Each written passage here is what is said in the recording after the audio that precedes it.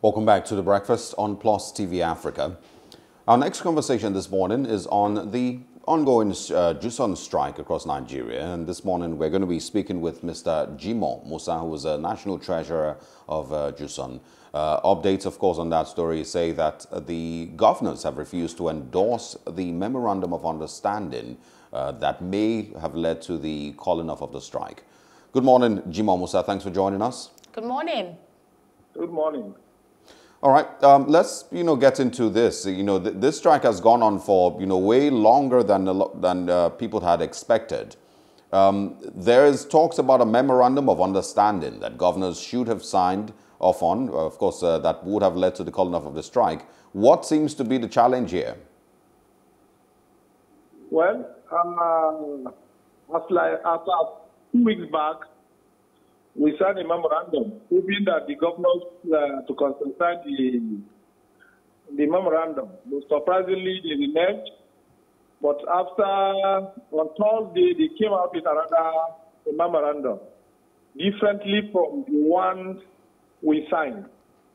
They changed some clause in the memorandum, and we felt they were not being fair to us. So we did not sign the memorandum. But as at Friday, we met with the Minister of Labour, the President NLC, Comrade Ayuba Wabba, and Entourage. We, after long debate and argument, the union signed our own column of the memorandum. So we have an agreement now that is binding on us. The only thing, there's a column in the memorandum that says for sign of good faith, the governor should pay April or May amount standing to the credit of the judiciary. That will be a conditional uh, way of suspending the strike. Mm-hmm. So as of today, we are waiting for them from today tomorrow to do the needful as contained in the memorandum. So as we can call our Congress or NEC to address them, possibly or most likely, we will suspend this plan. All right, let me, let me understand. What memorandum of understanding did the JUSUN sign off on? Was it the one that the governors brought forward or the initial one that was put together by JUSUN? Uh, there was no time used to put a memorandum at all. All the memorandums that were signed were products of the governors. The first one came from them. We, we signed it because of the interest of uh, Nigerians that are suffering because of this strike. So, so does this, no as, aside the memorandum because the constitutional provision. Yeah, aside the salaries that you've mentioned. Um, Pardon? Aside the salaries that you've mentioned, uh, that should, uh, if they are paid, you know, would uh, lead, of course, to the end calling off of the strike. Does the MOU also dictate you know, some of the things that were complained about that led to the strike in the first place? The MOU, uh, we're not talking of uh, salary, we are talking of money due to the judiciary at the state level to be paid directly to the uh, state judiciary. Okay. That is what is contained in the MOU. Okay. We have a budgeted amount in every state, uh, every state uh, judiciary. A budget that been passed and approved the one that stands for judiciary will be deducted from the accountant general of each state and pay to uh, the head of court in that state concerned. That is what we agreed to do, and it will take effect from April salary. Okay. okay. So, Mr. Musa, this yes. MOU we're talking about, it was actually presented by the Nigeria Governors Forum. Is that yes. right? So yes. if the Nigerian Governors Forum, you know, presented or formed this document that addressed your grievances, why then is it a challenge for the governors to, to assent to it? That is what baffles us.